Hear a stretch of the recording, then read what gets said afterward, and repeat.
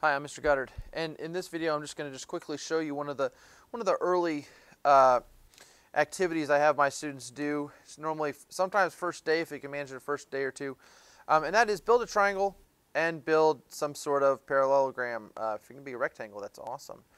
Um, and there's a reason why. I'm not going to totally give all the answers away here, but let me just tell you. So first, the way that I do this and have my students do it is just get get a couple beams, well three beams, and then connect them with uh, with a pin there on each vertex.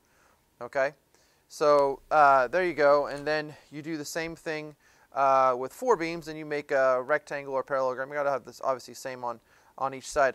Um, I'll put both of these sort of down delicately. What you'll find is that one of these is stronger than the other. One of them uh, you can move around and bend, and it's actually really weak structurally, and then the other one is not.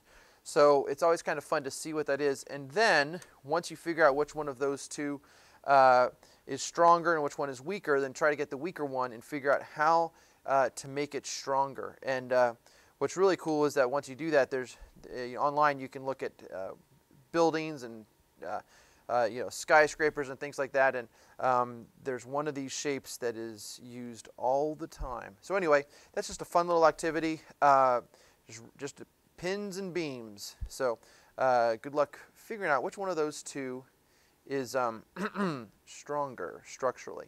Thanks for watching.